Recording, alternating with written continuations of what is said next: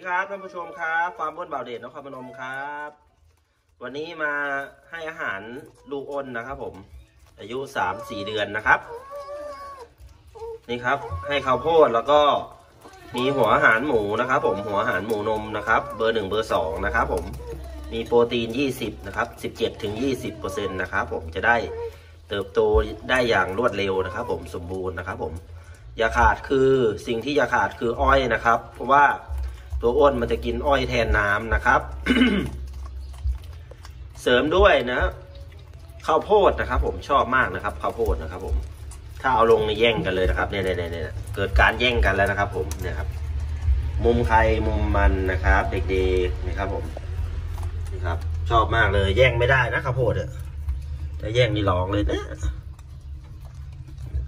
เนี่ยเนี่ยกอดไปเลยอ้าวเด็กๆ เอาลองดูคู่